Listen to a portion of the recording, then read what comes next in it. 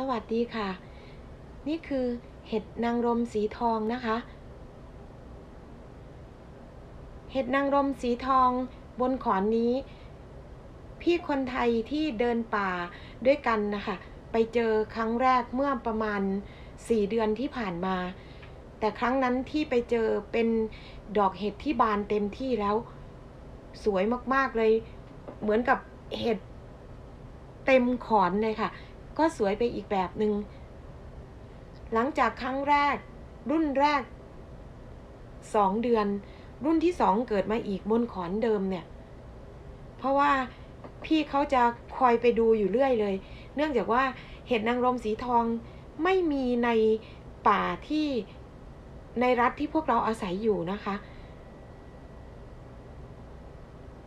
พอรุ่นสองเกิด พี่เขาก็ไม่รอให้ดอกเห็ดบานเลย ไปตัดเลยค่ะ ก็ประมาณที่เห็นนี่นะคะ ทุกครั้งที่พี่เขาไปเจอเห็ดนางรมบนขอนนี้เขาก็จะส่งวิดีโอมาให้ดู ดูเสร็จก็มีความรู้สึกอยากจะไปเห็น อยากจะไปเห็นของจริง อยากจะไปถ่ายวิดีโอ เคยเห็นเห็ดนางรมสีทองครั้งแรก ในตลาดฝรั่งข้างๆอพาร์ตเมนต์ ครั้งที่สอง ไปเห็นในร้านขายเห็ดแล้วก็เครื่องดื่มเขามีฟาร์มเห็ด แต่เป็นฟาร์มเล็กๆนะคะ นั่นก็หูช่อสวยมากๆเลย สีเหลือง ช่อสวยจริง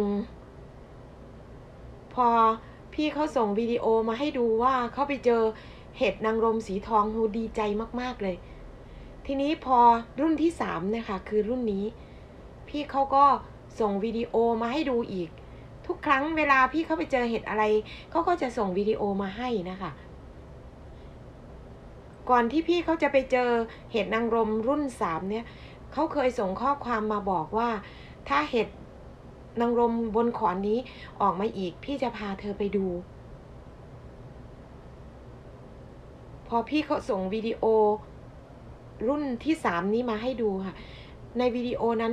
พี่เขาตัดด้วยนะคะ ตัดเห็ดน่ะ เป็นดอกตูมดอกเล็กมากเล็กกว่าที่เห็นนะคะ คือในวิดีโอนี้เป็นเห็ดนางรมสีทอง หลังจากที่พี่เข้าไปเจอแค่คืนเดียว ไม่น่าเชื่อว่าเห็ดจะโตเร็วขนาดนี้ พอพี่เขาส่งวิดีโอมาให้ แต่ไม่มีคำว่า พี่จะพาเธอมาดูนะ รออีกสองสามวัน พี่จะพาเธอมาดู เห็ดนางรมบนขอนนี้ พี่เขาไม่พูดคำนี้เลย อุ้ยน้อยใจจริง ๆ น้อยใจแล้วก็เสียใจที่พี่เขาหลอกให้ดีใจไงคะคืนนั้นนอนไม่หลับเลย เพราะว่าคนเราถ้าดีใจก็นอนไม่หลับนะคะ ถ้าน้อยใจเสียใจก็นอนไม่หลับ พอตอนเช้า รีบส่งข้อความไปบอกพี่เขาว่า พี่ช่วยส่งวิดีโอเห็ดนางรมสีทองที่พี่ไปเจอรุ่นแรกกับรุ่นสองให้ได้ไหมคะ แต่พี่เขาไม่ตอบ จึงส่งข้อความไปอีกว่า ไม่เป็นไรค่ะ จะไม่รบกวนอีกแล้วนะคะ หลังจากนั้นพี่เขาส่งข้อความกลับมาบอกว่า ที่พี่ไปเจอเมื่อวานเนี้ยมันดอกเล็กมากเลย อีกสองวัน พี่ถึงจะไปดูอีกแล้วถึงจะไปตัด แล้วที่ตัดมานั้นก็ตัดมาแค่สิบห้าสิบหกช่อสิบห้าสิบหกช่อไม่ใช่น้อยๆนะคะ เพียงแต่ว่ามันเป็นดอกเล็กๆ มันก็เลยดูนิดเดียว แล้วพี่เขาก็ส่งข้อความมาอีกว่า เธอมาสิแล้วพี่จะพาไปดูได้บอกจริง ๆเหรอคะรีบแต่งตัว รีบแต่งตัวแล้วก็ออกไปที่สถานีรถขนส่งเลยนะคะ พอไปถึง รถรอบนั้นนะคะออกไปแล้ว แล้วคนที่เขาขายตั๋วเขาบอกว่าต้องรออีกสองชั่วโมง นั่งรอรถรอบต่อไปอยู่ตั้งสองชั่วโมง เพื่อที่จะไปดูเห็ดเนี่ยค่ะ โหดีใจมาก ๆ เลย